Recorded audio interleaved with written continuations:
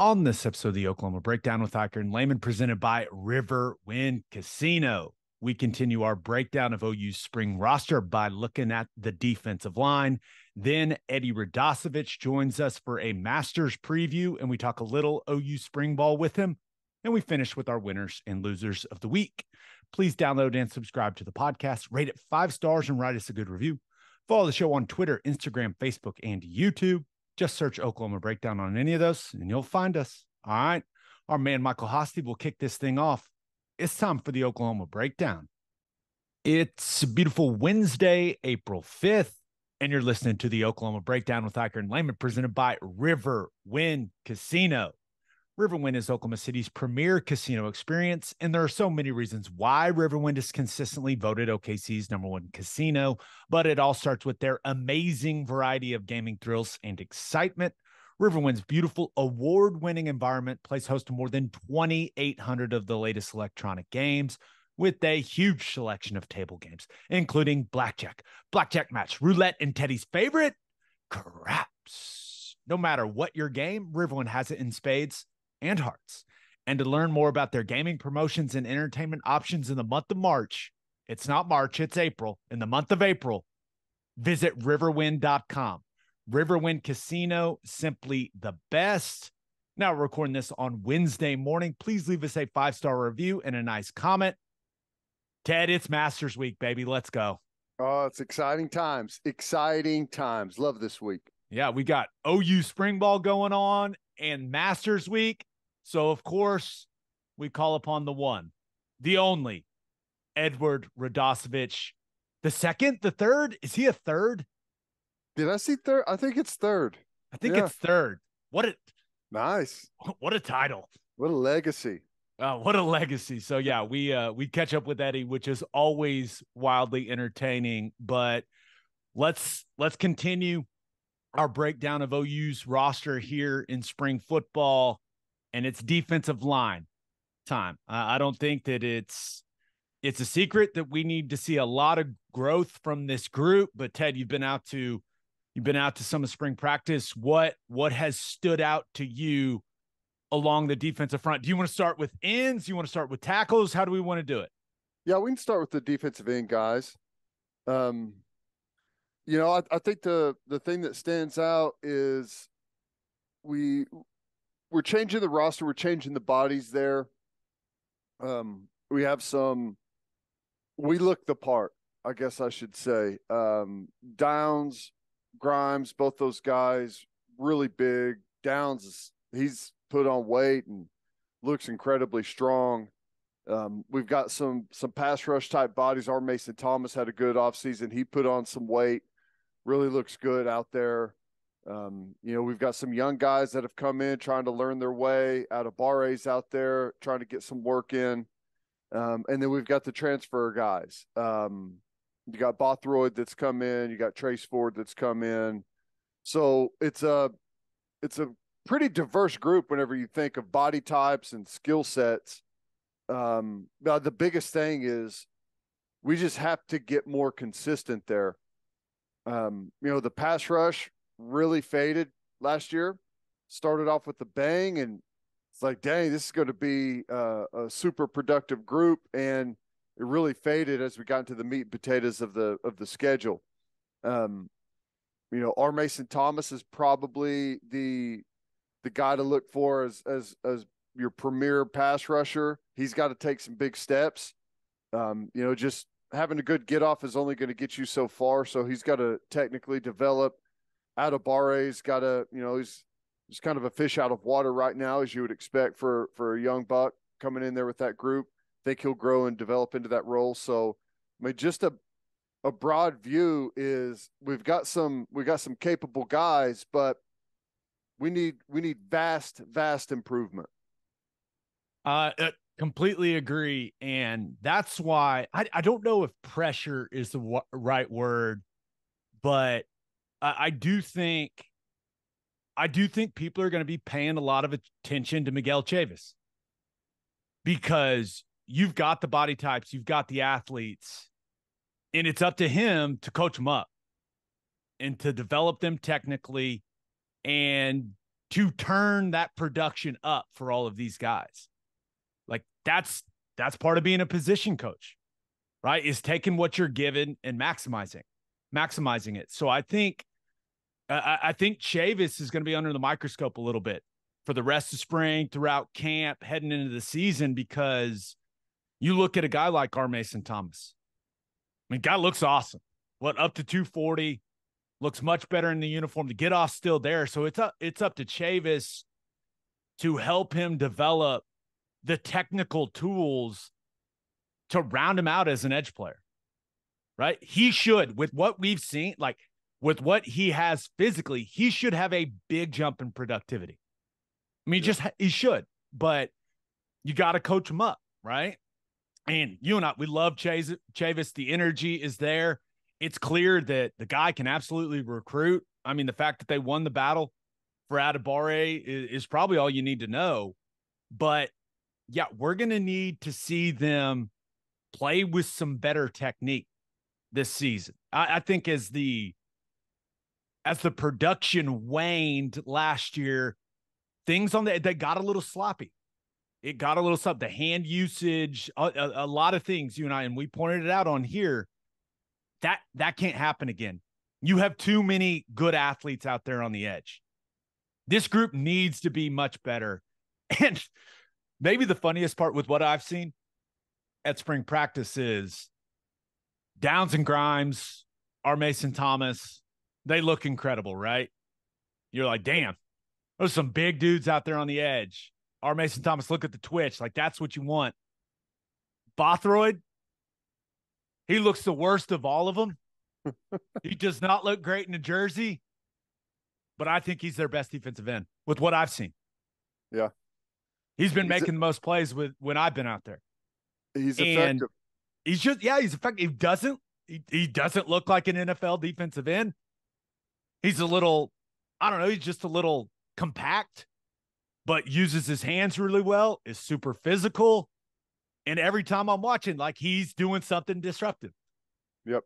So it's technique and experience, man. That's that's what we're lacking. You still talk about the like R. Mason Thomas, Downs, Grimes, obviously out Adebawore. I, still somewhat inexperienced. Last year was Ethan Downs and Reggie Grimes' first year playing uh, a solid year starting football. So, I mean, we've got a long way to go. If you just want to look back to a year ago um, and what we saw from the edge, incredibly too soft for how big and strong we are at edge with Downs and Grimes and go on down the list. Too soft, getting pushed off the football um, not understanding exactly where we fit always slows guys down. And whenever you've slowed down, you're in danger of getting blown off the ball, uh, losing contain. That stuff happened way too much. My biggest pet peeve rushing past the level of the quarterback and opening massive gaping holes for quarterbacks to step through and gain easy yards or easy windows to push the ball downfield. And that happens from having a lazy rush where you're just taking the path of least resistance, which oftentimes is exactly what an offensive lineman wants you to do. Is there anything easier than just running up the field and making a, a job incredibly simple for a tackle? Uh, those things we've got to fix. You have to have weapons on the edge. I've never played in or seen a great defense that doesn't have weapons on the edge. The contain of the defense in the run, and pressuring the quarterback in the pass, and it comes from these guys, this group. That's what you're there for. This is the money position. There's probably going to be, I don't know, six guys in this position drafted in the first round. This is what everyone wants. You've got to have guys on the edge. So it's this is a big year for those guys. The pressure is on for Chavis. You're right. Can you get the five star Adebawore up to um, up to snuff quickly? Can can he be a contributor quickly? Can Downs and Grimes be healthy and uh, technically proficient? You know, gap sound plus be a, a, threat in the passing game. Can Bothroyd come in and and maybe be, end up being the the experienced leader of the group as far as technician uh, is concerned? Can R. Mason Thomas turn turn into a a legitimate pass rusher in the Big 12? Can Trace Ford stay healthy? Like there's there's a lot of questions with this group and you know, I I'll just say where we are today isn't close with where we need to be for this fall. And that's fine because we have plenty of time. We have plenty of time this spring. We've got a full summer, full training camp. We've got plenty of time to get there. I don't think anyone across the country is saying they're exactly where they want to be right now, but this group's got a lot of ground to make up. Yeah. And they got to get there, though, man. Yeah. Or because playing great defense all starts with having a badass defensive line.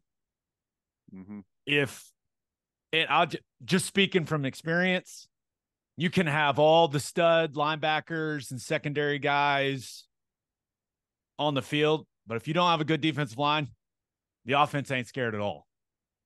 Yep. Right. And they will. It, it so that is that's where this that's where this group needs to get on the edge. Right? Reggie Grimes and Ethan Downs. If you're not going to be great pass rushers, you need to be dominant at the point of the attack in the run game at your size. Yep.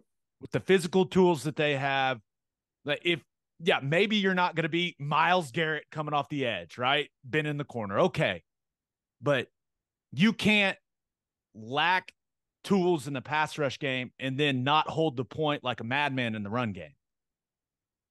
Yeah. Like you, it, it, that's just, that's, it, it, can't be that way. And then find your strength and become great at it, find your weakness and become good at it. Right. Right. And for those guys like Downs, he needs to be a great run defender. He should be able to, to shut down anything coming to his side. Yeah. And then Adebawore, you go out there and see him I mean, dude is all arms and legs right now. But at, at 6'4 and almost 240, he's probably 240 by now. The upside is just, I mean, it's massive. He he's raw. He needs he needs a lot of great coaching. And that it goes back to what we said about Chavis. Like this guy has the physical tools, but can you get him technically right to where he's contributing in I, I don't know how significant of the way, but when you get a guy like this, you have to get him ready to be out there on the field, right? With what he's got. And that's that's the rest of the spring in the weight room, the summer with Schmitty in the weight room, but also each and every day on the practice field when they're an individual. Like you have to be sharpening this guy up.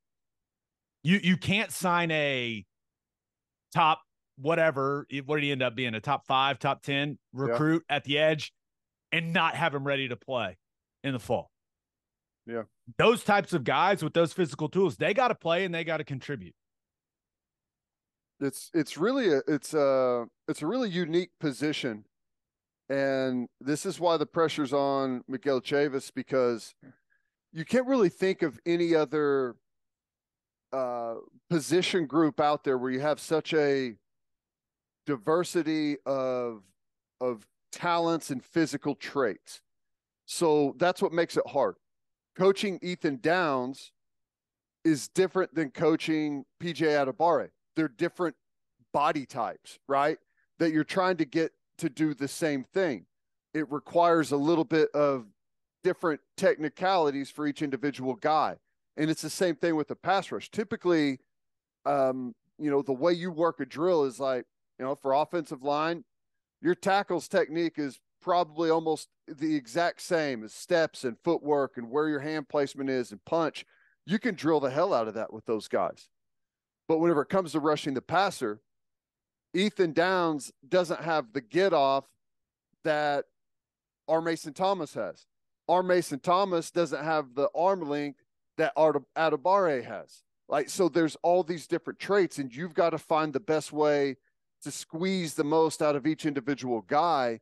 And it can become difficult, but that doesn't mean that it still doesn't have to happen, right? We still got to find a way to get all those guys uh, really dialed in, uh, you know, know exactly where they need to be whenever it comes to all your blitz schemes and your run game stuff, where you fit, so we can get to third and long and turn some of these freaks loose. That's the ultimate goal.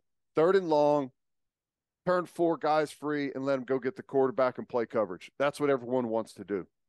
Yeah, I hear you, man. But big spring for that edge group. Uh, going to be a very important summer, and production's got to ramp up. Bottom line, in the fall, or else, or else this defense is not going to be near what it wants to be.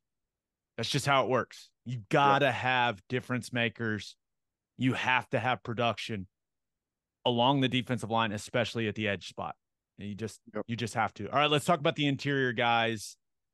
Speaking of difference makers, does this team have one? With what you've seen, does this team have one on the interior? Not right now, but you know, we luckily we're not kicking the ball off right now. We are we are in spring uh, spring ball. We've we've got a lot of time. I think the the guy that has the chance to be the most disruptive is Isaiah Coe. Now, will he take some of the strong points that he had a year ago and and grow from that, run with it, continue to develop, uh, embrace the role as perhaps a leader and um, a guy that could be a centerpiece of the defense on the interior defensive line, or is he going to let the opportunity slip him by? That's what we don't know.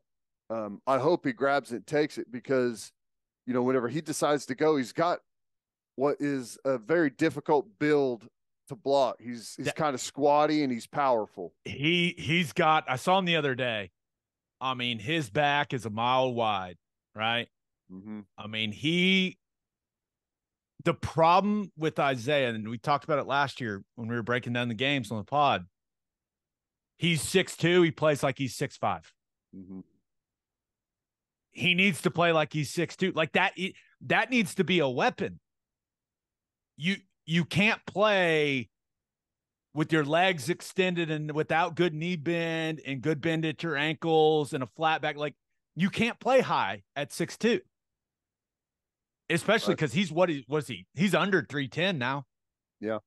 So I, I know we're all excited seeing a guy 308 now. We're like, oh my gosh, we have people that are over 300 pounds. Woohoo. 308 playing high is light. Yeah.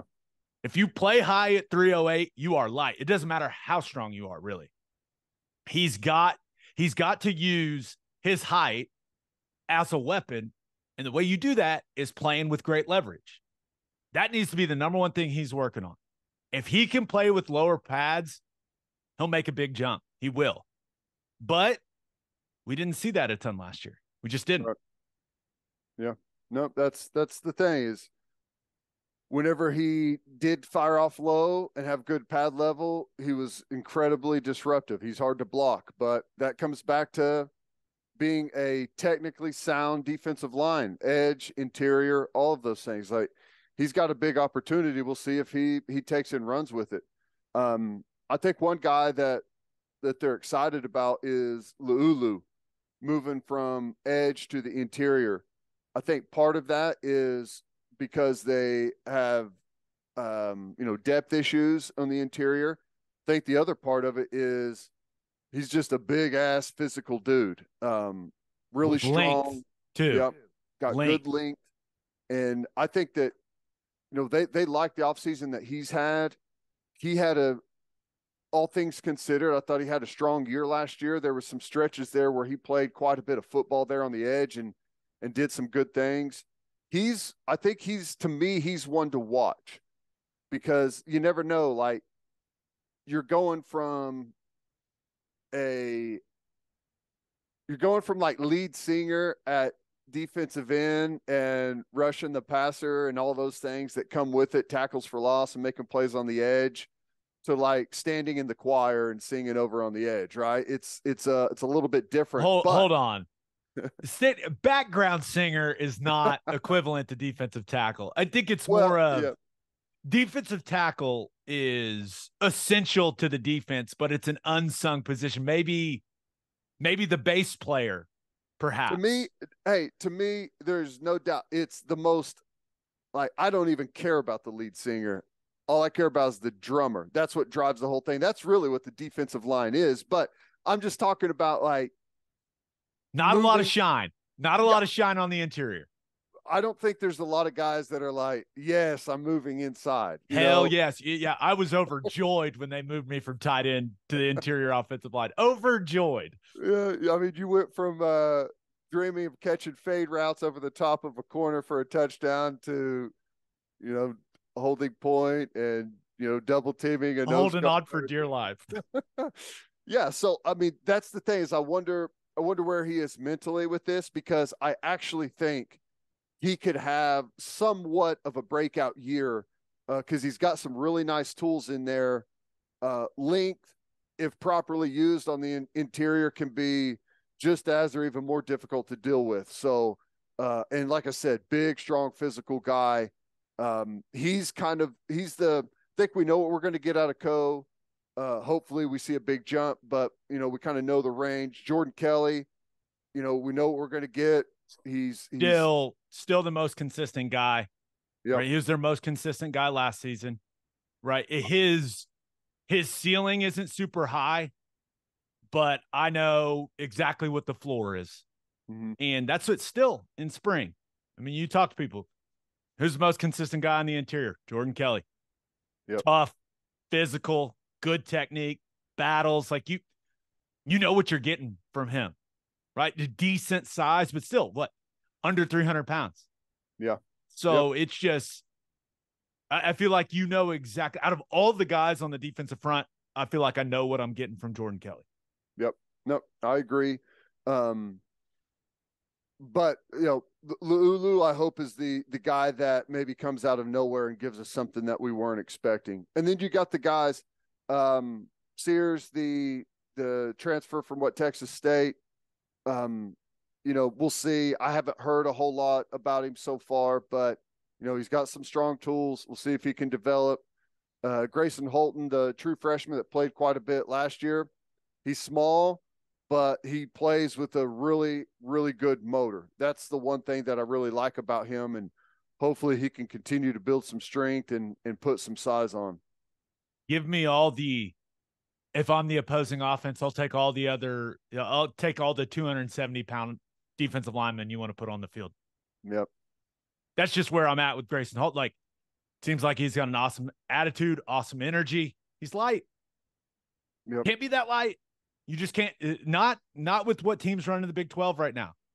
Like you can't you can't be that light on the interior if Kansas State is running duo right down your face or running power right down your face. It's just you're not going to hold up. And then you look at what Lacey, the transfer from Notre Dame, he's tiny.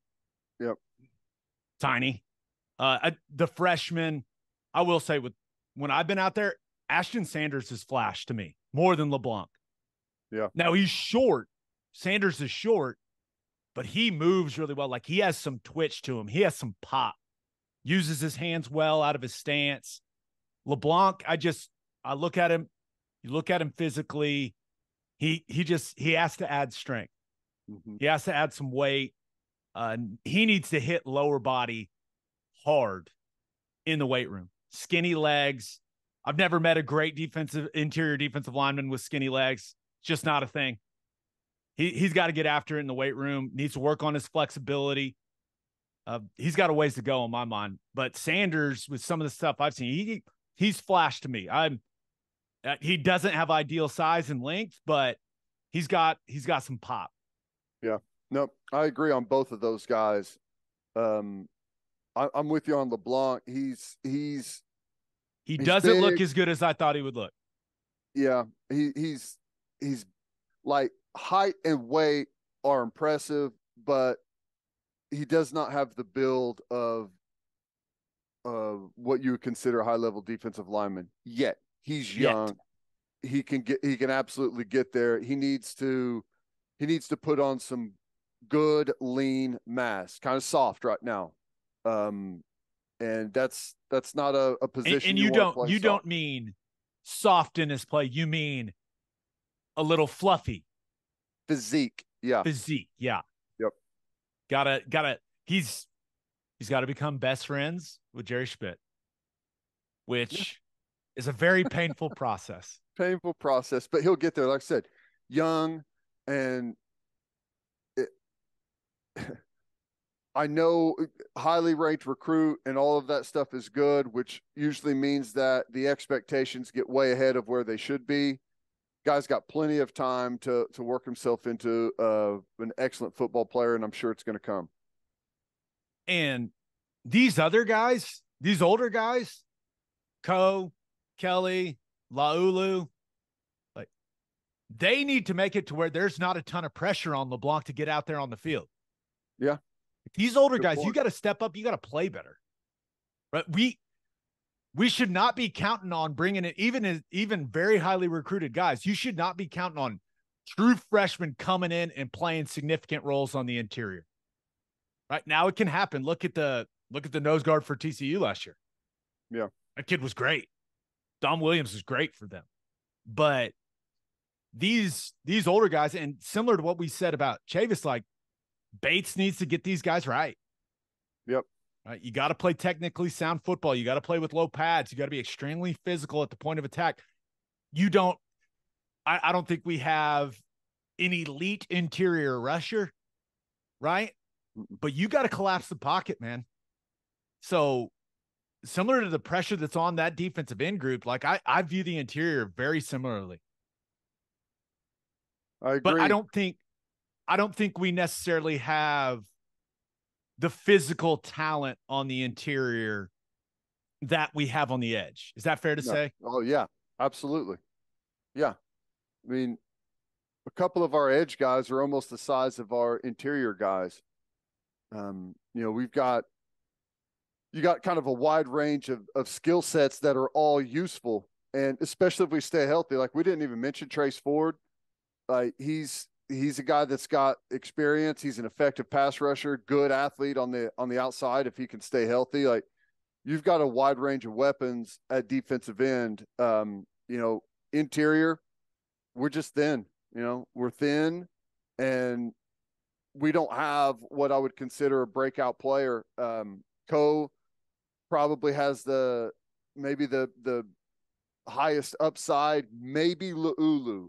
Uh, need to continue to see what how Laulu develops there. Hopefully, he takes that and runs with it. He could have a, a really nice year. But yeah, it's this is edge.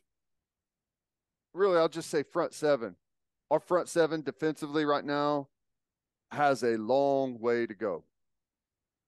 If if you're an OU fan, which I assume the vast majority of people that listen to this podcast are, and you expected us to pump some sunshine and rainbows about the defensive line, you're listening to the wrong podcast, my friends.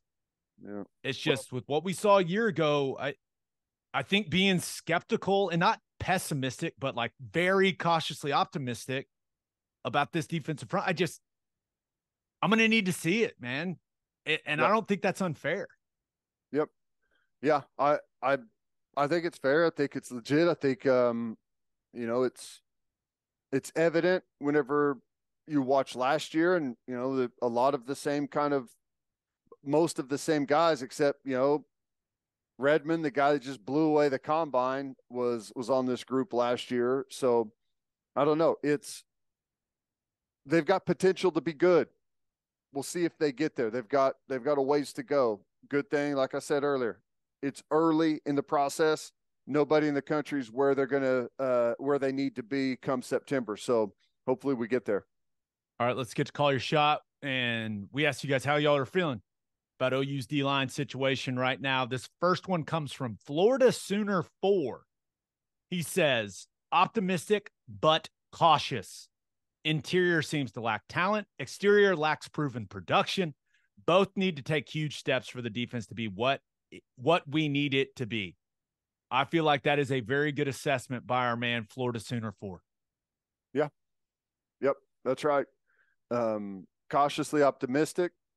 There's there's a handful of players on the edge and, and the interior that you feel like have some really good upside, but like it's not like specifically on the interior, we don't have a lot of talented upside. Like we've got like these incredibly like massive guys that have all these great physical traits. We just pull it all together, they're going to be unbelievable. We don't have that. We have guys that with technique, with leverage, with uh, weight room, can turn themselves into good college football players. Like that's what we've got. And it's a different path to get there. Um, and it's typically it's small incremental gains to where you look back at it in September and it's like, gum, we got three guys that are playing their tails off on the interior. Like when you go the other route where it's talent, it's like every now and then you have a defensive lineman that just like blows through the entire offensive line. It's like, wow, look at what we've got. Like we're not going to have something like that right now. Those gains typically come way quicker and they slap you in the face. What we have is there we got some guys that are slowly, I think, going to grow into some really good players, hopefully. And then th- this second one, I thought this was interesting. It comes from Booma McNug, which okay. He said, Lord help us if Coe goes down. The 2023 version of DG 2022. That seems a little extreme, Booma McNug. That I, I think I, I understand what he's trying to say. Yes, Isaiah Coe, there's no doubt he is vital to the interior of the defense, but it, it's not going to fall off a cliff like that, like we saw against Texas last year without Dillon Gabriel. It's just we cannot make that comparison. I'm sorry, Booma McNug. I just can't get there. Yeah, that's Stutsman, actually. He's the only player in the linebacker room that's played any significant snaps for Oklahoma. What so. you just said is not going to make anyone feel better. These last couple podcasts made the roster breakdown. I don't think we're making I we're being realistic though. That's yeah. I, I keep coming back to it. It's not like we're not trying to, you know, spread doom and gloom. We're just we're being real realistic, talking about a team that went six and seven a year ago. Yep. And still still trying to still trying to to grow into an experienced, capable roster. I mean, that's the difficult thing is everyone there just still just has one year in this defense.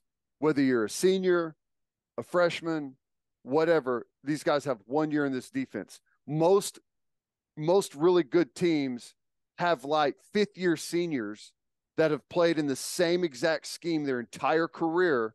And if someone goes down, you may not have a five star that's jogging on the field, but you have a guy that has been there, you know is going to be in the right place, is capable.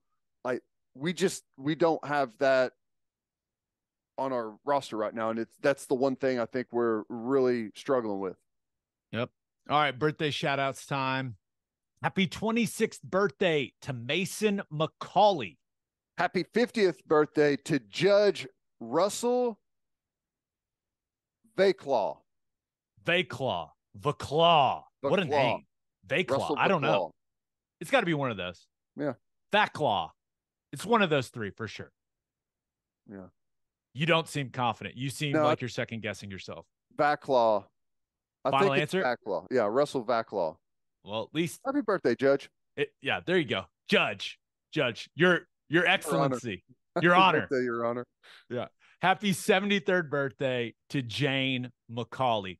All right, let's preview the Masters and talk some OU spring ball with our man Eddie Radosevich. But first, Love's Travel Stops is now offering a nationwide 10 cent per gallon discount on gas and auto diesel. Just download the Loves Connect app and scan your barcode at the prompt on screen and watch that price drop 10 cents per gallon. Across the country, the Loves Connect app unlocks exclusive deals and can help any traveler plan their route or meal on the highway. So before you hit the road, be sure to download the Loves Connect app to save 10 cents per gallon and experience the country's best highway hospitality at Love's Travel Stops. Love's also has you covered if you forget your phone charger or headphones with their expanded mobile to go zone. And of course, don't forget to grab yourself some of that delicious Java Amore Opolis Clothing is the exclusive home for all of our Oklahoma breakdown merchandise. You see it? It is the best. Oh, I like that. Yeah. I like it. Good stuff.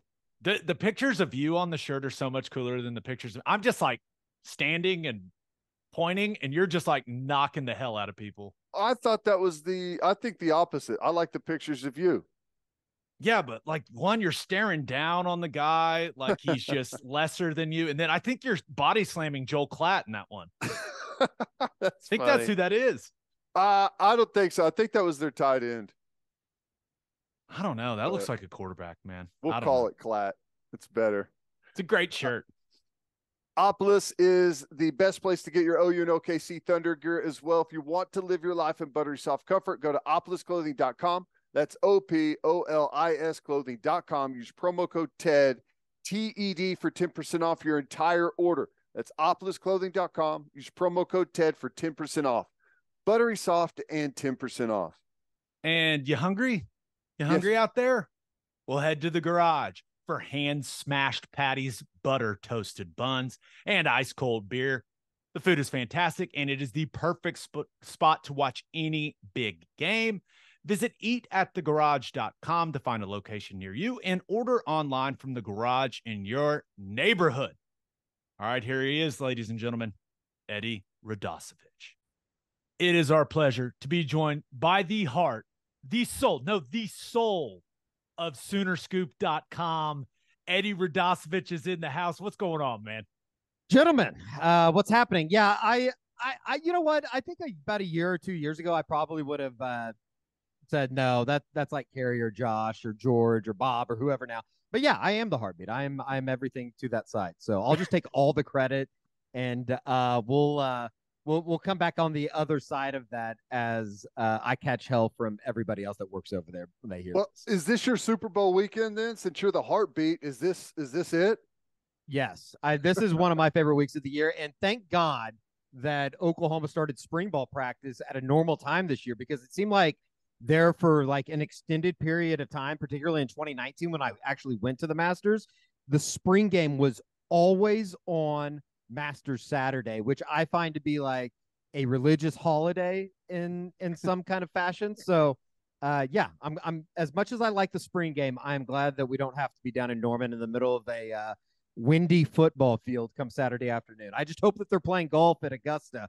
The weather's not looking too good. Mm. That was when when the spring game date came out. The first thing Teddy texted me was, "When's the Masters?" Yeah, yeah. I mean, I was like, "It's that, not that, that weekend. We're good." We're it, absolutely it, good. It became one of those things where it was like every year I just guaranteed myself because Alex Fuller has the big Masters party every year, and I I always had to miss it. And thankfully, uh, I think there was even one year that I had a, and this really pissed me off. Uh, we had a rivals camp the next day on Sunday, Masters Sunday, and I'm basically listening to the Westwood One broadcast. It's it's no way to spend Masters weekend. Mm, brutal.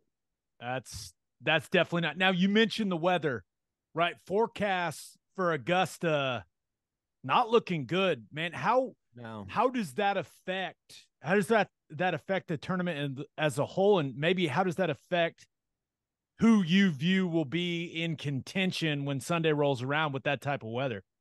Well, I, I think the first thing that's kind of, you know, and I, I guess this will probably be one of the talking points and storylines going into the week was just the fact that uh, you know, with all the LIV guys coming back to play this weekend, it is kind of interesting if it does rain throughout the weekend, and you would hope that it doesn't get to this point.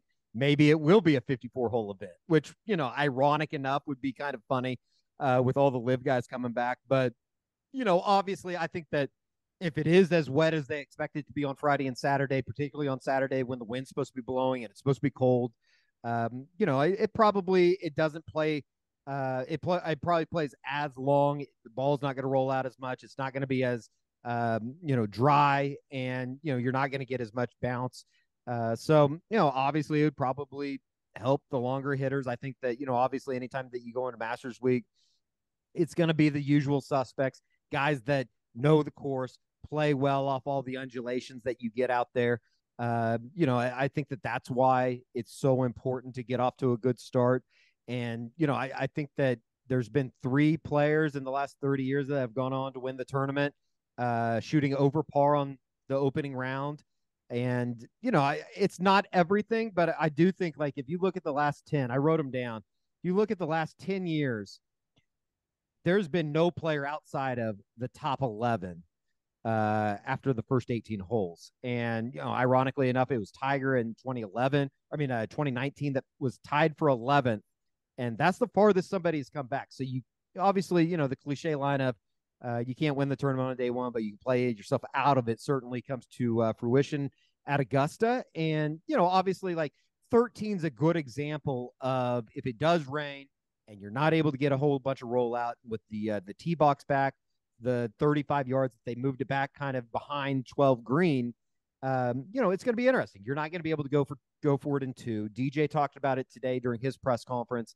Uh, just as far as you know, he thinks he's going to be doing a whole lot of laying up on 13, uh, which isn't the most exciting thing in the entire world, but I do think that it's going to affect the way that these guys play, particularly on the weekends once you get to Saturday. And then obviously once you get to the back nine on Sunday. Yeah, I think the the 13 uh, changes there are really interesting. Always been the, well, I say always, for a long time has been the easiest hole on the course. I think plays what four seven seven under par. So, um, I, I what does that do for the overall strategy?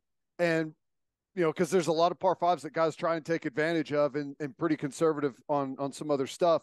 Uh, also, are there any other ch- changes that are notable that they've done?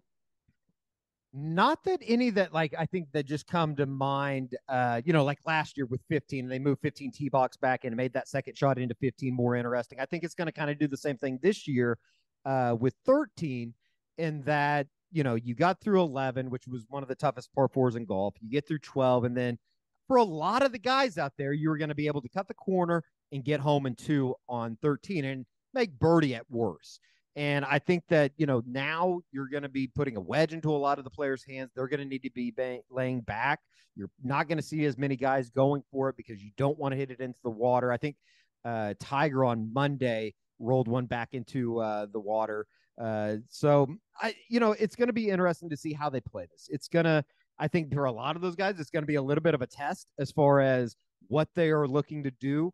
Uh, you know, obviously it's going to be different how they play uh, you know, the drive off the tee, you're not going to be able to cut the corner as much because you just simply can't get it over the uh, the trees on the left side of the fairway. So uh, you're going to have to hit it straight and basically hit it straight, and then you're already back 30 or 40 yards. You're going to have to lay up. So you know, I think for a lot of those guys, it's probably going to. Um, I think more than anything, probably be a little bit of a psychological thing, just as far as it's different than what they played in uh, previous years. But for the guys that are hitting it extremely well, and obviously the, the guys that can get a wedge into their hand, uh, you know, or whatever the number they want to lay up to, I think it's going to be kind of fun to see those uh, second and third shots now go into 13, where, uh, you know, if you're not controlling the ball and it, it, it, it, you know, if, if you can't put it to where you need it to be, you could get into a lot of trouble. And that's especially if you're going to hit it over the green and into the bunker or you know hit it over and uh, you know obviously short and funnel it back into the water. So uh, it's going to be different. I, I don't think there's anything any doubt about that. And kind of like how 15 played a year ago, where you're trying to have to hit it onto a little bit of a saddle there.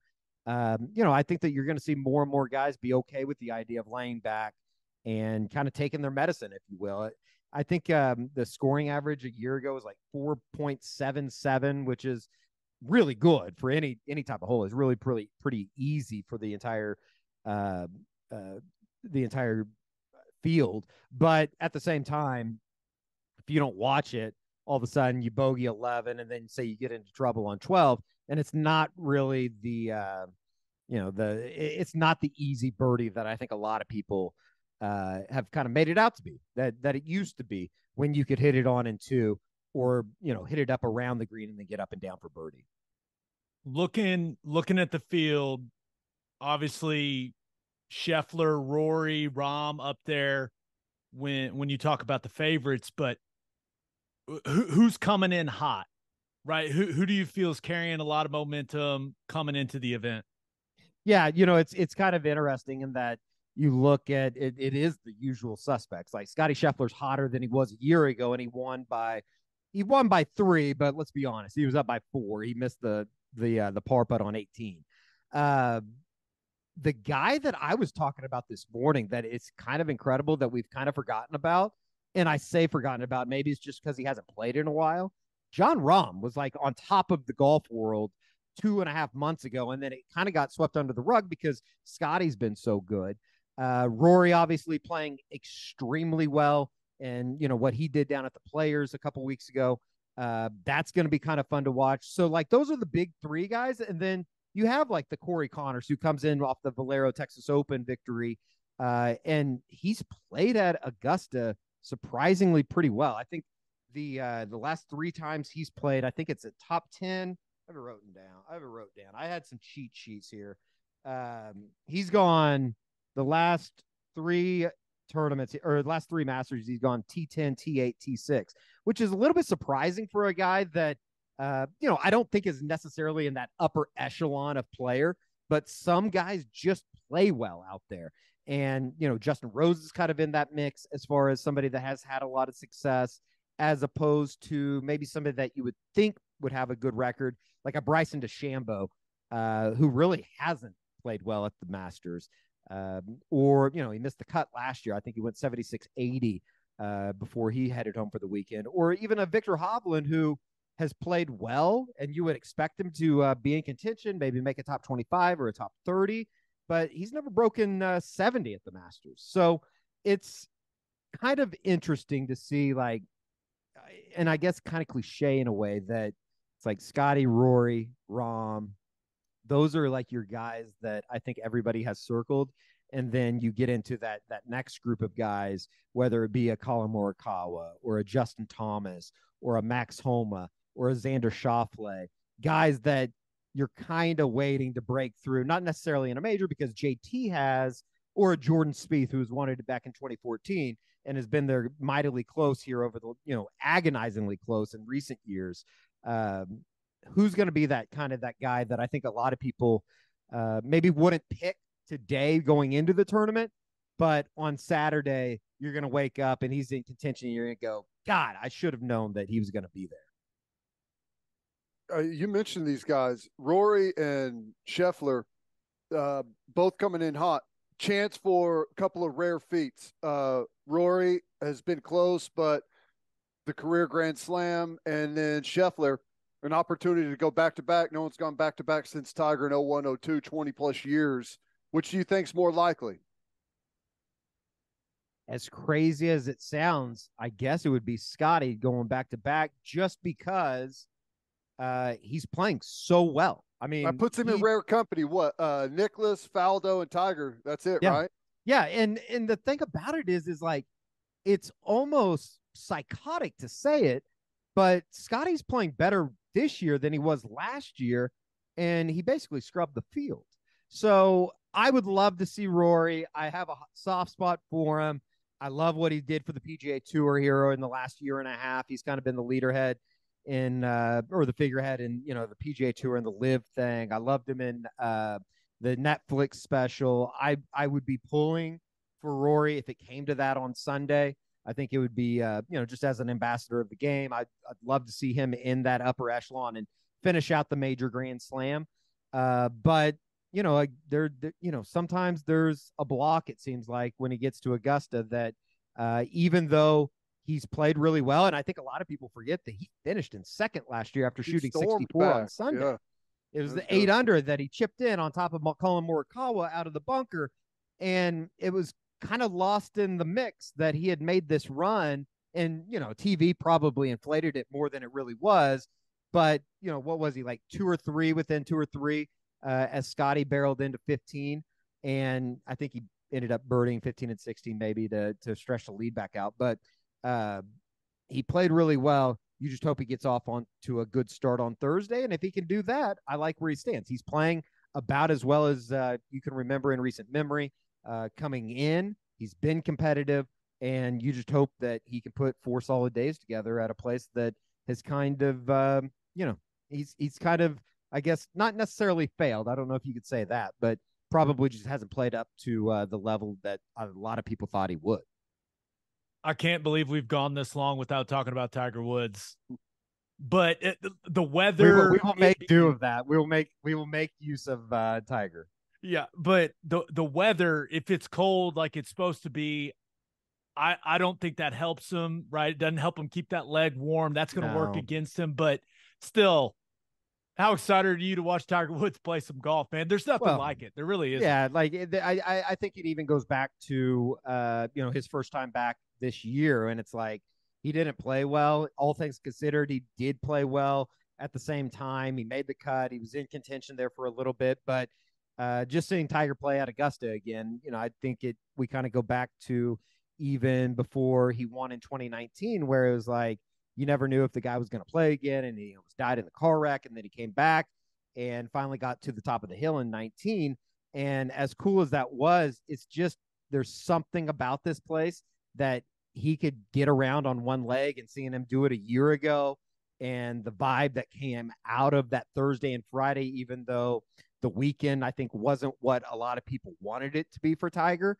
Uh, we still get an opportunity to watch Tiger play professional golf at the highest level possible. And, uh, you know, I, I guess to some extent, we just got to be thankful for that uh, that he can still get back out there, that he can still uh, get it around with some of these guys. But then, you know, then again, you see the way that he played in that first trip back around, and you know his ball speed's still there, his swing speed's still there. He's out driving JT and Rory, and I don't know. I, I guess the Tiger fan in me wants to believe that he could compete, but there is this element of he doesn't play a whole lot of competitive golf you got to be able you kind of got to be in that arena to be able to uh to to answer when the call is is made and i just don't know how well he can hold up and like you said with the weather it's going to be it, it seems like all odds are stacked against him but hell that's you know that would make any type of run that he made on the weekend that much more special Yeah. Well, you mentioned uh, maybe being a little bit rusty, not playing a lot of um, uh, tour golf. The the LIV guys. What there's only been three events so far, right? And and that's kind of a storyline around those guys that may be coming in a little competition rusty. Yep. Do you see that as something that may hamper those guys? Is there anyone out of that group? What is it, 17 or so of those guys? Anyone out of that group that you think has a has a good shot? it's really fascinating and i wish that i like i wish i had a feel for it because uh you know brooks koepka is obviously playing somewhat well he's won twice in his last six starts and i think that he said this after the uh, LIV orlando event basically anytime that you go tee it up and you win an event you're doing something correctly uh but there is like this element of and even cam smith said it on monday at his press conference his game's probably not where it was a year ago. He was in the final group. He had a chance to uh, kind of close it out. And I just don't know like what to expect. Like what's realistic for a bunch of these guys. They're coming off of a uh, Orlando event that they played at uh, like Whispering Cat or something like that. It's a it's literally a public course. It's not Augusta National. Uh, so yeah, like do we do we even know how like because there's no data for the LIV guys, like all Yeah. these numbers we have for Yeah. the PGA tour guys, there's none of that no, for them, and we don't know we don't know if the courses are hard or not. no. Like I- we I know mean, nothing.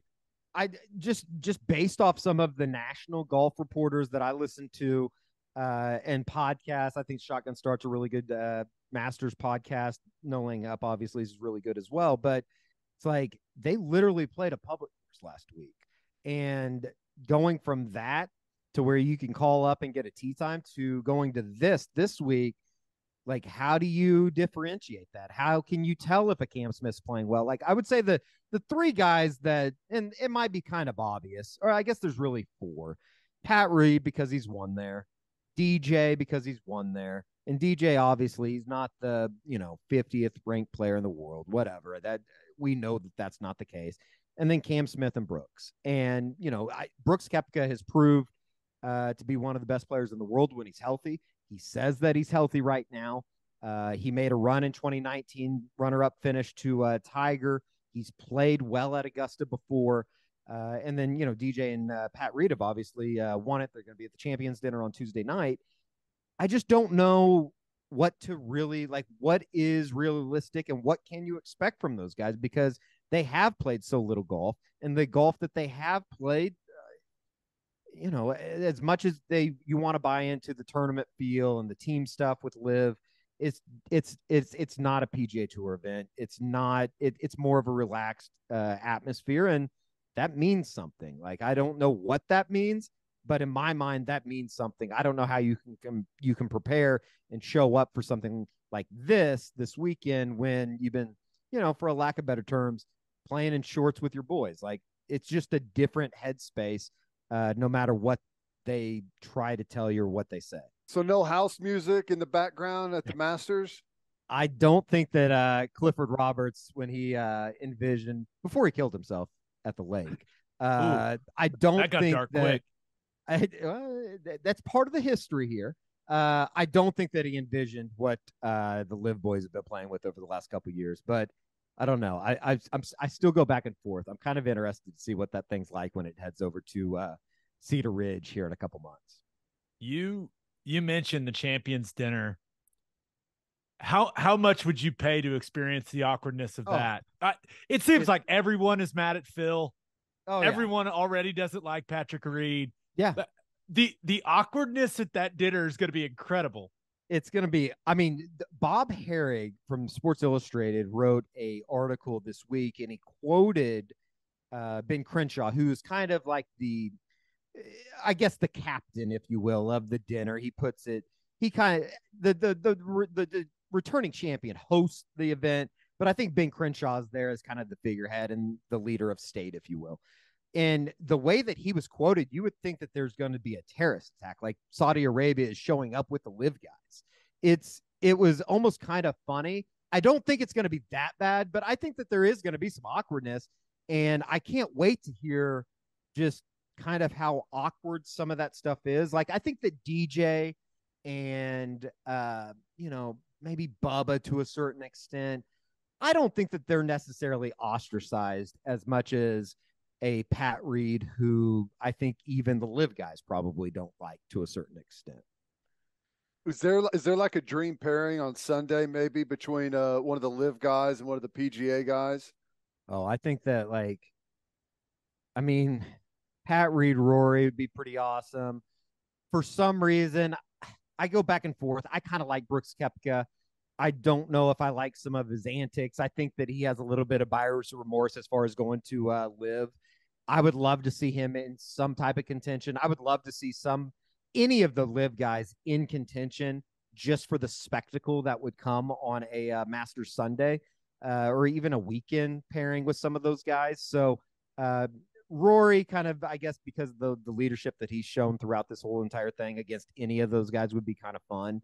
And um, who knows? Like I, like DJ, just I don't know if he like necessarily considers himself part of LIV. I I think he's more of just yeah, my bank account looks good, and I don't. Yeah, really he's care like, you- I'm playing with. You know how much money they gave me, guys. Yeah. Come on.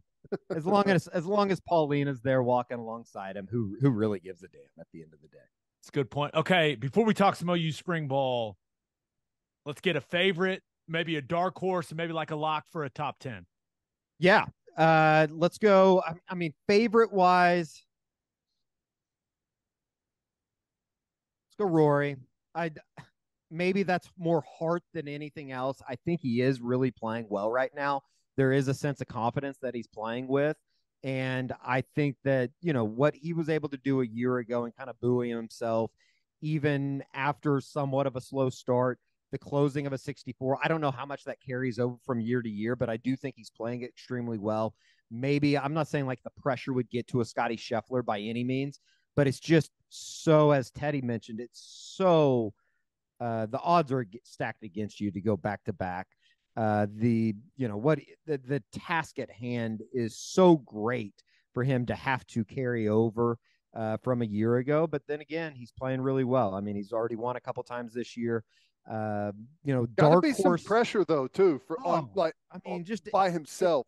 and everything that goes into the week, even before you get to Thursday, whether it be hosting the uh, champions dinner on Tuesday night, the preparation, the asks that they make you kind of go through as the current champion or as the uh, the, the the presenting champion, uh, it's a lot. It's a it's a lot to that goes into it, and it would be an incredible feat. It would almost be more incredible of what he's done over the last twelve months for him to repeat this year than what it has been over you know the preceding 12 months. So um, I don't know. I'd I'd go with Rory. I still don't think Jon Rahm. Uh, I almost think he's a little bit forgotten about going into this week, and uh, we'll see though. That, that it was kind of interesting the way that like I, I think it's probably just because we haven't seen him a whole lot here since the designated event. Uh, I guess that would have been in Phoenix before they made the move back over to Florida. So um, that'll be interesting. And then obviously the players didn't play very well. He you know had the hot start on Thursday and then kind of faded over the weekend. But uh, dark horse, I don't know. I, I guess it kind of can. It depends on what you consider a dark horse. Like I think Corey Conners is somebody to watch. I know that there's a lot of steam right now for Stewart Hagestad. Uh, to uh, I mean, uh, not Stewart Hagestad, uh, the kid from uh, Vanderbilt as an amateur. I think that there's a uh, there's a lot of people that think he could come in and play uh, this week into like maybe a top twenty. Um, now I forget the uh, the kid's name. Uh, it starts with a W. Now I feel like an idiot. But uh, Stewart Hagestad. We're clearly no help. Gordon Sargent. Gordon Sargent uh, is the kid's name that I'm thinking of. Sam Bennett's had a hell of a year. He's a Texas A&M Aggie, though. I'm sure that there's a lot of people that won't be wanting to root for him. They actually had a really good story about him and kind of, uh, you know, his dad died. He won the U.S. Amateur. Uh, he's gone through a lot of hardships in his life, but um, Walter Sargent is a name that I think a lot of people will become familiar with. He absolutely murders the golf ball. Uh, I think that, you know, if you're talking about a guy that can kind of play himself into a tournament, even if he is an amateur and it's a big ask, there's seven of those guys stand at the crow's nest this week.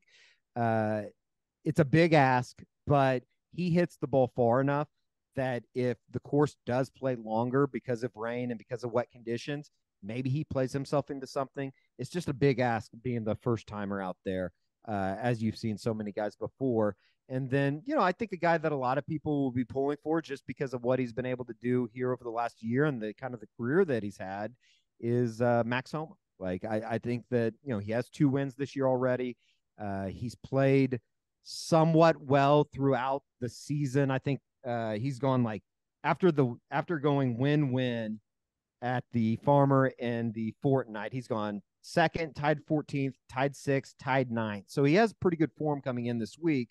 Um, yeah, his biggest thing is getting over the hurdle in majors, and I think that uh, his best finish is at the at the Masters is a tie 48th, which came a year ago.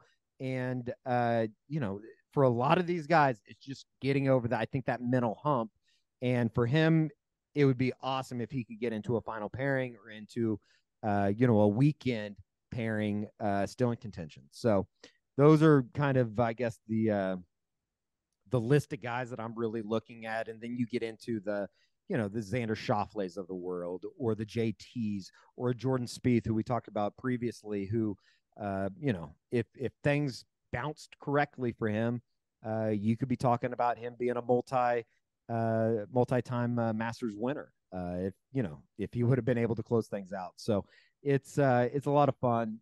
This week is uh, truly one of those things that you go, I could talk myself into basically anybody and uh, kind of a path, and then there's always going to be somebody that you uh, discredit or disregard through the beginning of the week, and you look up on the weekends and you're like, well, why didn't I put him on my fantasy team? I feel like an idiot. Official pick, Rory. Yes. I hope so. Fingers crossed. That would be awesome. Heart or head Rory, heart Tiger. I won't uh, go back on Tiger until he's like officially officially out of it. But uh, you know, we'll see. And then obviously all the Oklahoma guys that are in the field this week. It'd be cool if uh, Viktor Hovland could compete in it, uh, or you know, at least have a good showing. I know that there's a lot of people that don't like Taylor Gooch because of the way that he left the PGA Tour, but it'd be cool if he could play well. Yeah, I'd like to see I'd like to see Gooch play well too. All right, you've been out to several of the spring practices. I'll just leave it open, man. What's what's kind of stood out to you? It's it's it's like one of these things. It's like I I want to talk myself into thinking that they've made the turn defensively when you see some of the bodies that they've been able to add. You see the progression of uh like just for instance, like standing with the linebacker group yesterday and uh you have Jaren Kanak Kobie McKinzie, Danny Stutsman taking reps, and then Justin Harrington, Dasan McCulloch, and you know Phil Picciotti in there, or Shane White, or whoever. They look great, but how? What does that like? How how do you separate what they were a year ago and the progression that they're making into this spring, um, you know, I'm I'm cautiously optimistic about that group. I'm cautiously optimistic about the defensive end group that you look at Rondell Bothroyd, you look at PJ Adebawore, and it's like he looks that's the dude. Like that's that's what you want to look like. That's what you want to recruit as. Um, and then you know a safety group that you know I thought the first time that we went to practice uh, two weeks ago, you look at that safety group and you know Billy Bowman and and, Key Lawrence and Peyton Bowen or Reggie Pearson and Damon Harmon, they look great. Like you can start talking about developing depth at a position that has been lacking for so many years. So uh, it's kind of fascinating to see kind of how this whole thing's coming together. I wish that Walter Rouse was able to go through I wish the tight end position was able to go through a little bit more than what they are right now. But um, you know, I, I, it feels like everything's progressing in the right direction. Everybody's saying the right thing. Unfortunately for us, uh, we just have five months to have to talk about it, and that's all that's going to be done in between now and uh, the beginning of camp in August. Jackson Arnold's the other other story. Everyone kind of wants to know what he looks like, and um, sounds like uh, he understands that it's going to be a work in progress, but as far sure. as like the tools, the physical traits, all of that stuff, sounds like he looks great. I mean, he he's he's incredible. I I you know I think everybody has this idea of what a five star should look like, and I actually saw him play three times last year for Guyer, and every time I walked away uh, wowing at something different. Whether it was him running away from the uh, from the Allen defensive backs and that was a little bit of an Allen team that was down a little bit, obviously, but um, he's just a dude, and I think that I just want people to be able to kind of caution themselves that because of what Caleb was able to do as a true freshman. I don't know if he has that same skill set as far as being able to just being thrown into the Cotton Bowl and perform. Like I don't think we appreciate what Caleb was able to do enough. And maybe, maybe in hindsight, you do a little bit because he did go on to win the Heisman Trophy. I know that's taboo to talk about around here, but at the same time, he's going to be so, so damn good in the next couple years. Uh, it's almost just like I, I don't want to like preach patience because I know that like Dillon's going to have to play better than what he did a year ago. And I think that you saw at the end of the year it start to come on a little bit more particularly in the bowl game down in the Cheez Bowl against Florida State. But uh, yeah, like thinking about the quarterback position and what Jackson could be two, three years down the road. And there's a lot to like, man. And especially if you can, you know, I'm, I'm preaching to the choir here, but if you compare him with some wide receivers that step up and evolve in front of our eyes, whether it be, you know, Nic Anderson, who I think looks great right now, just running around. We haven't really seen a whole lot of what he's been able to do.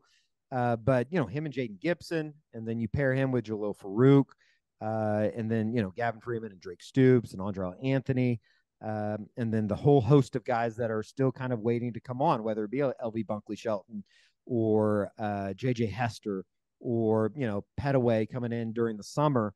Uh, there's a lot to like. Like I'm optimistic about an offense that was probably a lot better than they, you know, people want to give them credit for a year ago because the expectation of you know what that was supposed to be was so grand and so high.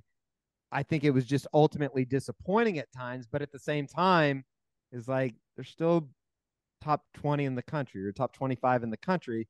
They're still putting up great numbers. It's just skewed because we were so used to those 17 18 19 offenses being historically great. And uh you know it, it, it's just it's hard to, i was doing a, a podcast earlier with the solid verbal guys and it's like hard to like describe how this team was so freaking close in all of those games.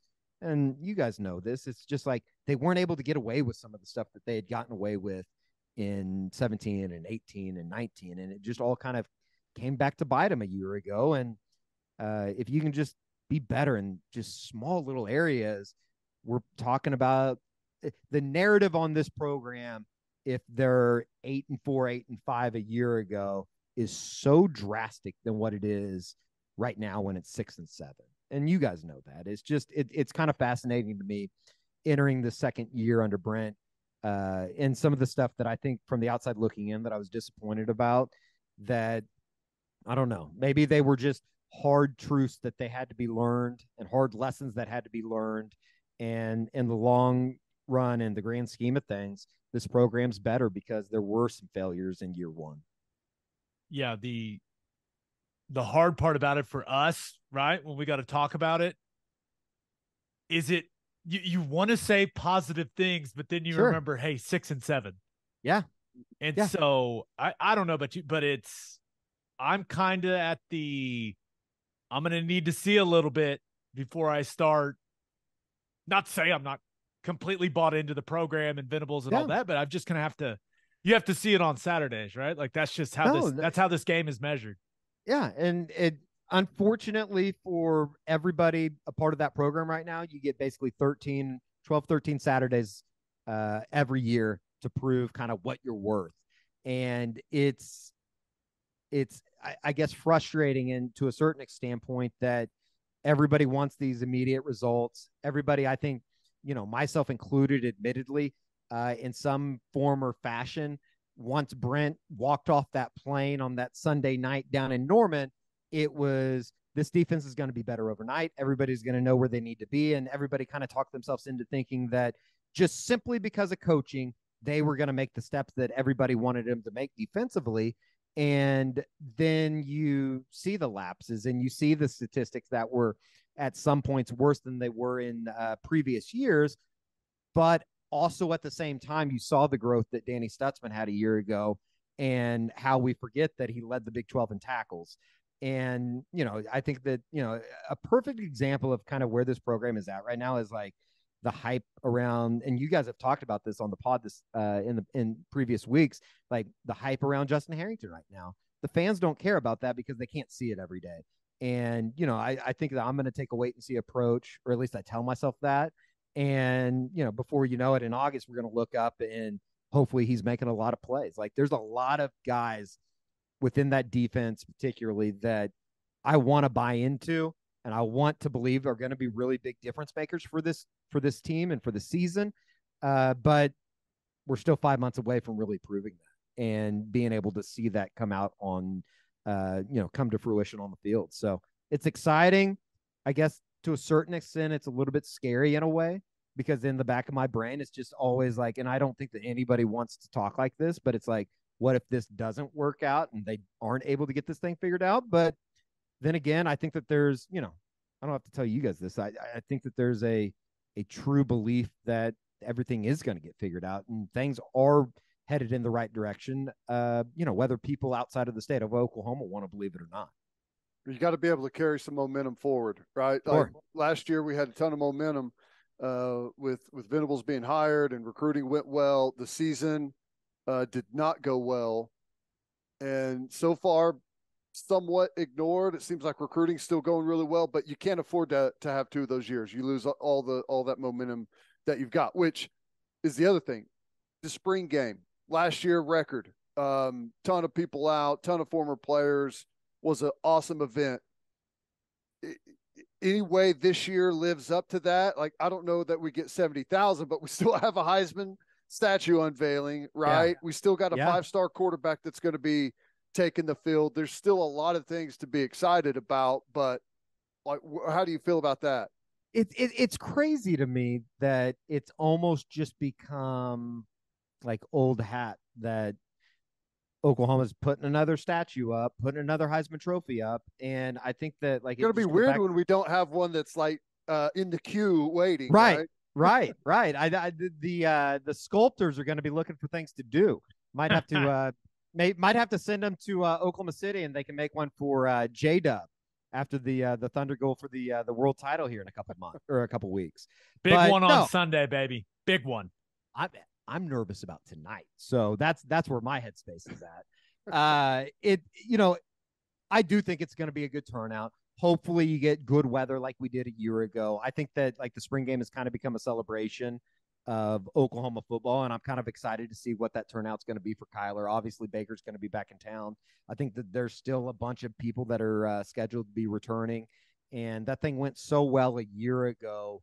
Uh, you just hope that you know everybody kind of has the same same vibe that they did a year ago and the same energy that they brought for Baker. And I think it should be really cool. And you know, the the the the recruiting thing is so crazy to me too, because if you would have told me that they were going to hold on to basically everybody except Colton Bostic after that Texas game, and then you got into like that dark period right after the Texas game, and you know, kind of the ups and downs that that season had. I would have said you were nuts. And for them to be able to close and hold on to PJ and hold on to Peyton Bowen or flip Peyton Bowen at the very end, uh, and really kind of keep that thing intact, get a Phil Picciotti to campus. It was almost, I guess, reassuring in a way that whatever that message is that they're sending uh, recruits and they're telling portal guys, whether it be Walter Rouse or uh, you know Reggie Pearson or Dasan McCulloch or whoever, it's like people are buying in. Now it's time to capitalize and really start progressing towards something that you would want to take down to the SEC in 2025. So, uh, you know, th- it's a big year. It's a big year for everybody involved in the program, and I think that uh, it's almost kind of exciting on a, in a way because of the unknown. I don't like. I don't know. I, it's always fun to uh, have high expectations and you know be devastated when OU goes 12 and one or 11 and two. Uh, but at the same time, right now is it, it I, I told some people earlier, it's like Oklahoma football right now is so fascinating, and there's so many questions going into the next few years, and just maybe even in a grander scale as a whole of what college football is going to look like in 2025. It's um, it's a good kind of fun business to be in right now. Eddie, you're the man. Uh, hopefully, Sooner Scoop has not fallen into complete disarray with us taking the fearless leader. You never a, know. Uh, for you about never, 40 you, minutes. You never know, and you wouldn't be surprised. That's that's kind of the way that it goes. yeah. You're awesome, man. Thanks for the time. Appreciate it, guys. Anytime. That man is a wealth of golf knowledge. wealth of all kinds of knowledge. That's good stuff. Hey, you, who's your? You, are you making a pick to win the Masters? I I think it would be hilarious if one of the LIV Golf guys won but mm-hmm. I just I don't know how sharp their games are right now. I am I'm going to take Morikawa. Okay. I, I like him. I think Rory's going to get it done at some point. Is this the year? I don't know. It seems like the story's kind of lining up with uh, the front seat that he's taken here recently. I'm going to take Rory.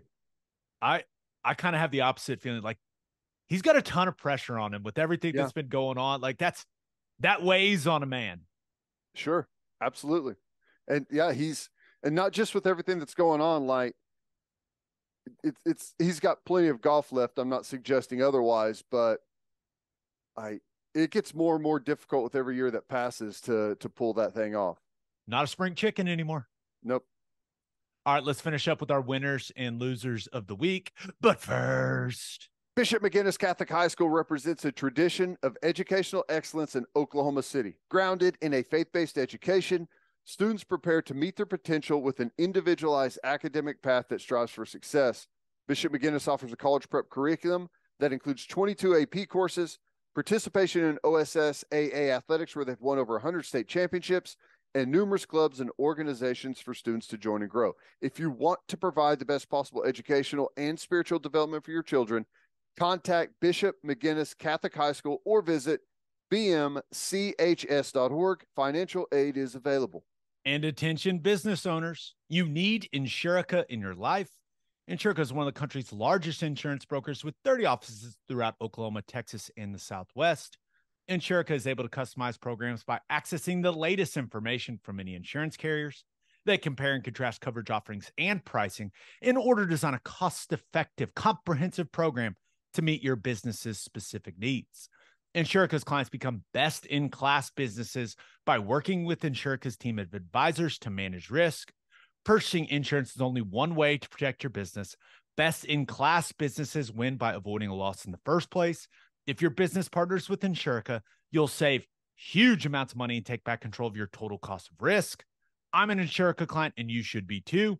If your business wants to be best in class, Connect with Insurica at insurica.com. That's I N S U R I C A.com. As always, Ted, kick us off. Who do you have as your winner of the week? I've never thought I'd have him as my winner, at least not this early. But Hugh Freeze, new coach at Auburn, um, stealing a talking point that I've been pounding for years. Uh, he's suggesting instead of your your normal spring game, why not play against someone else? Play against another opponent, in-state school, uh, someone local, whatever. Um, you know, spread some of the risk around to where you don't have all 22 of your own guys out there on the field. Um, you know, it's, it's a little bit better. Guys get to go up against someone else, see a different colored jersey. think the fans could have some real interest there. I think there's a way to do it. Um, not exactly sure like what the exact way is, but it's at least a cool idea to start thinking about. And he offered up, he's like, you know, maybe you know we play Troy and you know do it for charity. And Troy's coach is like, yes, challenge accepted. We'll be there. When do you want to play? what time? What day? Yes. I, and I I've heard people talk about this in the past, and I think it's a great idea. Now, I don't think you need to play a game necessarily. I right. think it should be similar to what you do when you have those joint practices in training camp when you're in the NFL. Mm-hmm. Hey, you get individual time, right? Then you do inside run, you do seven on seven, and then you do team, right? You do situational yep. football. That would be, that would be, not only would it be really, really entertaining because the fan would get to watch their squad going against someone else, I think it would also it would educate fans on what a football practice looks like. Right. And why why you do some of the things you do. It's like, oh, so they're just gonna go all third and longs here. Okay, that's kind of fun. Let's see, let's see how it goes. Let's keep track. Who who converts, who doesn't, we'll keep score that way. I think it would be awesome. Awesome. I do too. I, I think the perfect way to do it for Oklahoma is in a I bet a bunch of fans hate this but when we are out of the Big 12 and into the SEC, it needs to be with Oklahoma State. Mm. I, I don't know that any fans would want to see I OU just absolutely beat up on some like whoever, right? Is does anyone really want to see that? I think you'd rather see like your offense going against your defense than getting a, a real look at some of the young guys. If you're going to do it joint, I, I think it needs to be a power five school. Um, if you're not playing Oklahoma State every year, you don't have to worry about holding each other, like holding things back. And, you know, even though I think that's so overblown in the, in the first place, but I don't know. I think that would be awesome. And it doesn't have to necessarily be your spring game, but if they did a handful of joint practices, I think everyone would get a lot out of that. I, I agree. That would be awesome. I think the attendance would be great. I think the revenue you generate from it would be great. And then, and this is a down the road conversation, but we see what is happening with the SEC becoming, for lack of a better term, a super conference. Mm-hmm. And we see what's happening with the Big Ten, something very similar, right? With UCLA and USC being added. It feels like some of the group of five, FCS, whatever, like lower level games against the Power Five, like some of that's going to get start starting to get phased out.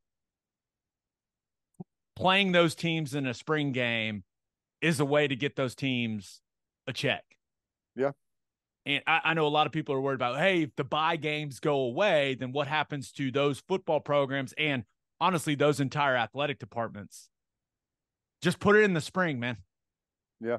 Just match everyone up proximity. Let's get the old map out. Say, hey, you're gonna go. You're gonna play them. They're gonna play them. They're close, and we'll cut you a check for X amount.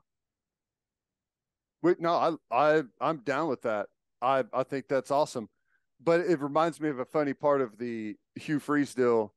You know, whenever he, the quote, you know, the end of the quote is, um, you know, let's, you know, let's play in state, whether we play Troy or UAB or Alabama does or vice versa. Um, we'll do that. Let's we'll adopt a charity, give all the pro uh, to give all the proceeds to, and I can just see the administration being like, oh yeah, you know, like I love the idea, but the charity thing, eh, eh. We'd love for you to select a charity to donate your proceeds to for your contract, but like we've we've got a business to run here. yeah, that's that's good. All right, who do you have as your loser of the week? You know, it's interesting. I feel like maybe it's just me, but I feel like the Arizona Cardinals have been going through kind of one thing after another, right? They they had a, a bunch of issues. Like the Kyler Murray contract saga, right? And then last year, some the homework clause, the homework clause, and then you know you get rid of your your head coach, and now you've got the uh, Arizona Cardinals owner is being accused of gross misconduct, including cheating, discrimination, and harassment in an arbit- arbitration claim filed by former Cardinals exec uh, Terry McDonough. So I, it's interesting. He's claiming that you know whenever, um, um, whenever there was a, a suspension, they had they used burner phones. I there's all kinds of stuff in there. It's uh, it's interesting, and it feels like Arizona just just can't dodge the bullets right now. It yeah, and let's not forget your your star quarterback blows his knee out. Yeah, coming back from a ACL injury. Fire your head coach. Um, yeah, it. These are not great accusations for Bidwill, and if I remember correctly, the burner phones are related when your GM Steve, Steve yep, he was suspended for a DUI, right? And when when you're suspended like that, you you're not you cannot communicate with that person, right? And for him to be like, guys, we're using burner phones, here we go, that is uh yeah, if that ends up being true, and I guess McDonough, who by the way, that's Sean McDonough's brother, the the announcer. I'm pretty yeah. sure that's his brother. Wow. I it the article I read said he still has the phone. Yeah, which is very juicy. Right. Um he he also said that, you know, basically um it, it was it was essentially a um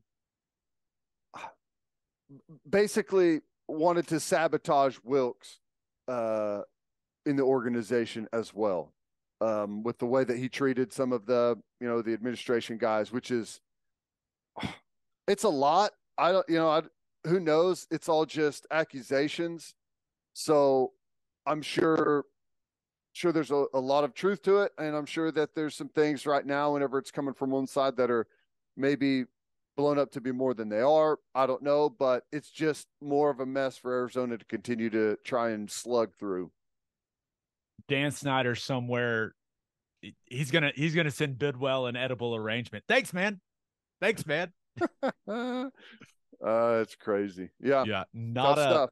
not a good look for the Cardinals and certainly not a good look for Bidwill. Just you're right. It doesn't feel like anything's going right. Hopkins yeah. is you know, he wants out. That whole yeah. uh, just that does not seem great. All right, let's get to my winner and loser. But first, uh, John Vance Auto Group has been serving Oklahomans for 40 years, family owned and operated. They've got nine full service dealerships in Woodward, Miami, Guthrie. No matter what your vehicle needs are, John Vance Auto Group has you covered. They carry domestic brands such as Ford, Lincoln, Chevy, Buick, GMC, Chrysler, Dodge, Ram, Jeep, and Wagoneer.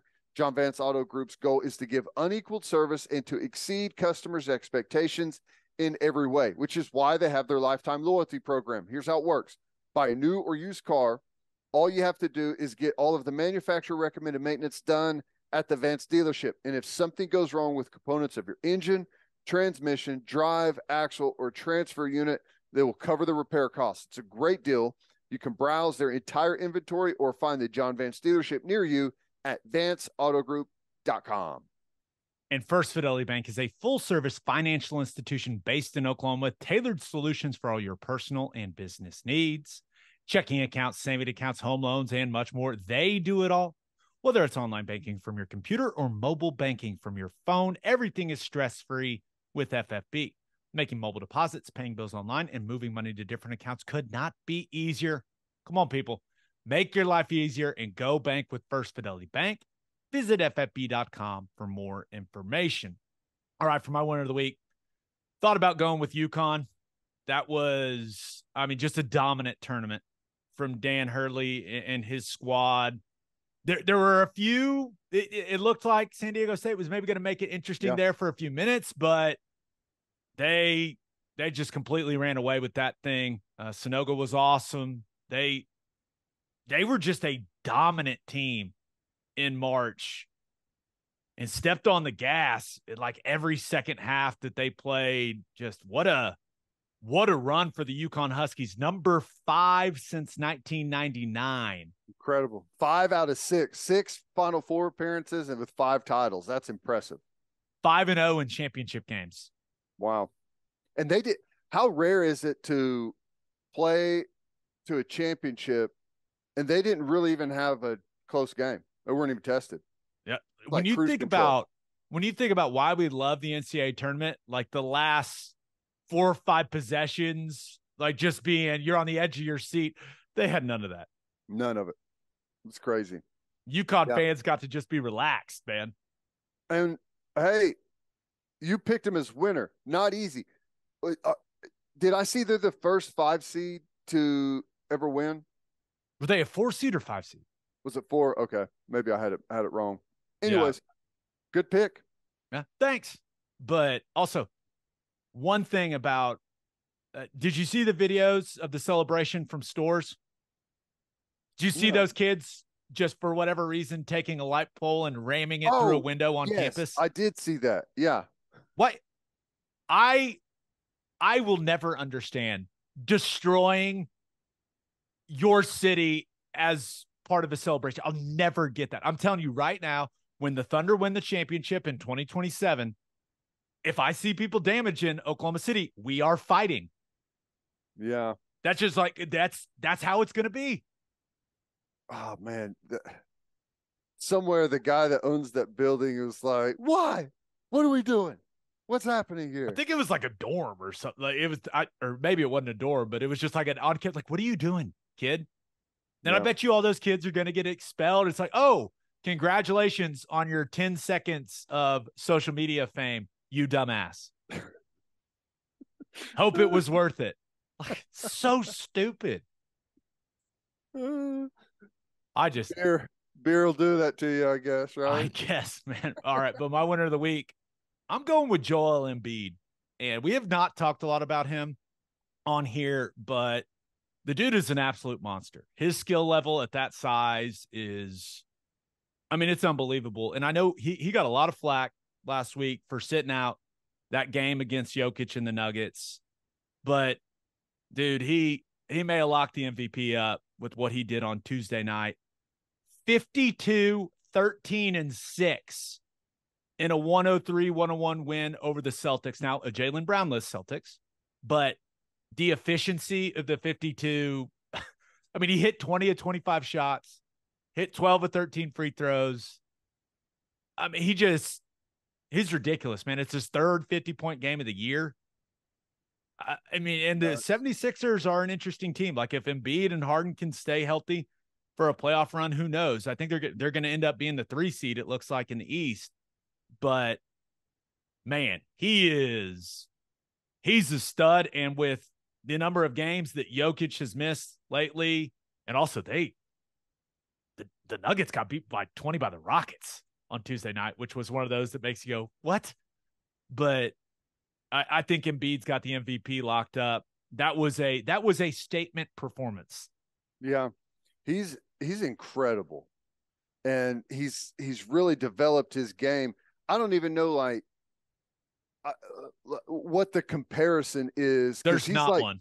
Yeah, it's like Dirk and Shaq wedged together. Some I don't if, even know. If Dirk and Shaq had a baby. yeah, he's incredible, man. He's to do what he does at the size he is is just it's wild. And you know, he's somewhat I as far as like star power in this league under the radar. Right? He's he's not a guy that you typically hear a lot about. You hear a lot about more well-known guys that are on far worse teams. He just doesn't grab the headlines for whatever reason, but he's about to win the MVP. You you hear more about LeBron when he's injured than you do when MVP Embiid is Or out there Kyrie. balling. You know, hear all about Kyrie, and yeah, it's strange. Yeah, but Doc Rivers even said, "Hey, after the game, he said it on the podium. It's like the MVP race is over," and I tend to agree with Doc on that one. That dude is, I mean, he he is amazing. It if you have not seen him like up close, it's hard to fathom like just how big he is. He is huge and like gunned up too. Like he's big and thick. It's just he's like the biggest human being I've ever seen. It's crazy. Just a Uh, monster. I don't know how he shoots it so well with how gigantic his hands are. He, dude, he, he's a special player, and I'm like I'm he's hoping he holding stays a healthy. tennis ball to try and shoot it. yeah. It's like me shooting baskets in my front driveway with my son. My son's obsessed with shooting the basketball, and he makes me shoot the little kid size ball. And it's like, uh, that's how Embiid feels. Yes. All right, good. for my loser of the week, thought about going with Jill Biden. We don't talk politics on here, and this is not political. What are, what are we doing, Jill? The White House is for winners, Jill. You can't even you, and I know you walked it back, but you can't be saying that Iowa should be invited to the White House too. You can't do that, Mrs. First Lady. What are we doing? That's not how things work. That's not American. It's we we may have finally like she I know the uh the offer was rescinded and uh and already turned down by Iowa was like no thanks. But like this is the door opening. We've become the ultimate participation trophy uh society. If we're just going to invite both participants of a national championship game to the White House. Can't do it. It's over. It's un-American. That's can't right. do it and i this led me down the uh kind of a path of okay how am i, I going to handle when my son starts playing sports and they don't win and they try to give him a ribbon or a trophy or something? And do you remember james harrison how he handled all that? No. he just threw him away. I Well- i think that's what i i think that's what i'm going to have to do. Now hopefully my son wins a bunch but i just i can't get on board with rewarding losing. Like i know we care about the kids self-esteem. Now these are college kids. This is a completely different conversation but i just i i don't think i'm ever going to get there man. I know we're there's a big topic of self-esteem and mental health and all that but i just can't see me rewarding losers. Yeah. just-. I ask my son every time he wins something that's not first place if he wants to throw it away. And he's like, What are you talking about? No. oh no Um, but it reminds me of a of a funny story. Um, why am I drawing a blank? Called the Super Bowl tight end Greg Olsen Olsen. So I guess his dad was a head coach, grew up with, you know, brothers and growing up, like if they won trophies that were not first place, there was this place out in the country that they drove to that they called the uh, trophy graveyard. And their dad had them get out of the truck and they threw their trophies into this some ditch somewhere and it's full of full of second, third place trophies. Pretty funny. I love that idea.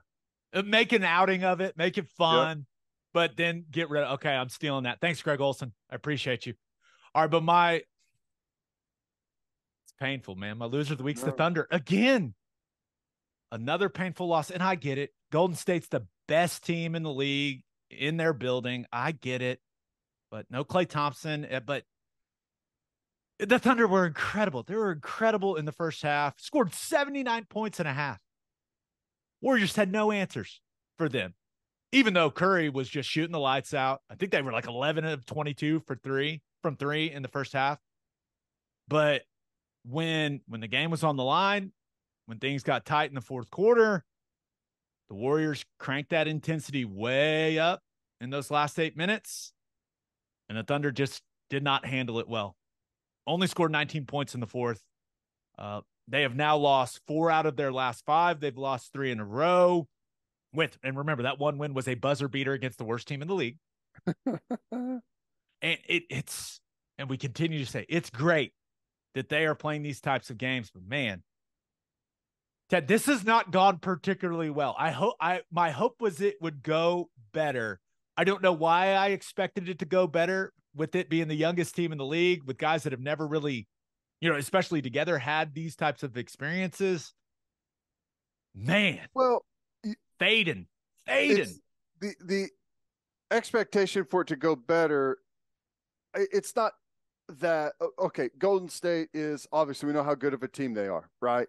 Steph Curry's amazing. I the part that bothered me, don't let Jordan Poole go off like that in the fourth. Come on, man. Anybody Yeah. but Poole. Guy's annoying. the the really the frustrating thing is it's not the Golden State loss, right? It's the other bad losses to teams that are The Hornets. Just say it. It was the Hornets loss. The Hornets. God, I was not in a good mental space after that game. But yeah, you're right. Golden State hits 23s. Okay. It's going to be hard to win in San Francisco when Golden State hits 23s. But the thing that that is disappointing, I'm not mad, I'm disappointed. Golden State is not trotting out some super big lineup, right? I mean, they're playing, they're playing some athletic dudes. Don't get me wrong, K- Kuminga, Moody, uh, all those guys.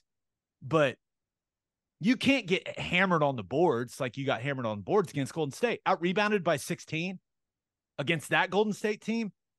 It just it shouldn't happen that way. So I I just it's not like they have some dominant big. That was disappointing. The the highlight of that game, the the highlight of the fourth quarter certainly was Mark Daigneault losing his mind. That was awesome. And he should, right? You gotta the refs made a mistake and they admitted to it after the game. But I think that made some people realize, like, oh, Mark Daigneault, pretty calm guy on the surface, but he's got that crazy in him. He's got that dog in him, Ted. It was fun to see it come out. Yeah, he must be feeling the same way you are uh, recently with with some of the games, and it finally boiled over. Yes, in a big way. It was an awesome clip. Awesome clip. Maybe my favorite thing of this season. But here's the situation it feels like hosting the play in game is pretty much out the door. That was my hope that they would be the nine seed. We'd get to host that 9 10 game, and it would be a big event and it'd be a ton of fun. Seems like that's not going to happen. But the simplest way for the Thunder to make the play in is they beat the Jazz on Thursday, then they beat the Grizzlies on Sunday. If they only win one of those, then they need the Mavs to lose to the Kings or the Bulls or the Spurs. If they don't win either of those, they need to, the Mavs to lose two to the Kings, Bulls, or Spurs. So you've got kind of five bullet points. The Thunder need two of them, right? They can win both, take care of it, or the Mavs can give them some help. So Is there any way they can host? I haven't done the math, but it just it seems unlikely. Gotcha. I have not I have not crunched the numbers on that. Really, I'm just worried about them winning a damn game, Ted. I know, I know. I'm putting the cart ahead of the horse here. yeah. So right now, Minnesota, no, I don't because Minnesota has the tiebreaker now, Gotcha. and they are Minnesota's 44. Yeah, so no. The answer is no. Okay, we don't Damn have to it. worry about that then.